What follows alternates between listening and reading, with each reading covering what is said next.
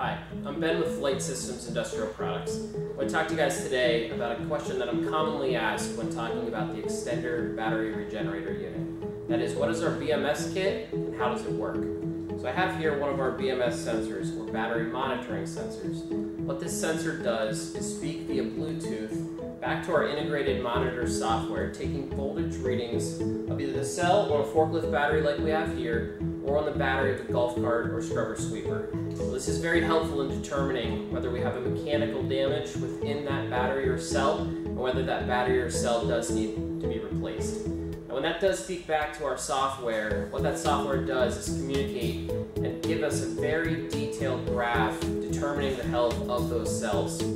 This does make it a very labor-free kind of process, virtually eliminating the need for a technician to go around with a voltmeter taking voltages of each of these batteries. Now when we're going to attach this sensor, what we do is attach both the positive and negative clips to the inner cell connectors of that battery. When we do have a flashing LED light, we know it is powered on and ready to start reporting. Now, these sensors do come in both 2 volt, 6 volt, and 8 to 12 volt sensors for both the industrial batteries as well as the golf and scrubber sweeper markets. For any more information about our BMS kits or any other FSIP battery maintenance products, please check out our website at www.batteryrestoration.biz.